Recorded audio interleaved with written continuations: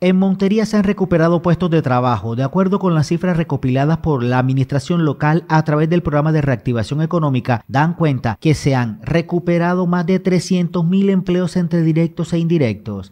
Nosotros hemos recuperado alrededor de 120.000 empleos entre directos e indirectos, ¿no? Porque también nos toca contar no solo los directos, sino los que se afectan indirectamente.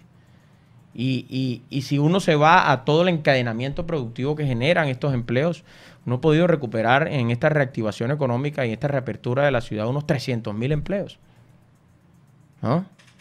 Y yo creo que entre formales e informales, ¿no? No es que estén registrados, sino que todas las personas que están ocupadas o recibiendo alguna clase de ingreso por alguna actividad productiva en la ciudad. Entonces hay que ver el cálculo también gusta, que es lo que estamos analizando ahora mismo, de también cómo fue la mortalidad de, la, de las empresas ahora. ¿Qué se transformó? ¿Qué pasó al sector tecnología?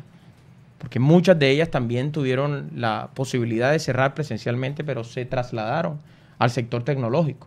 Según cifras del programa de reactivación económica de la alcaldía, más de 600 empresas y microempresas de la ciudad se han recuperado, más la ayuda del Credit Express de la gente.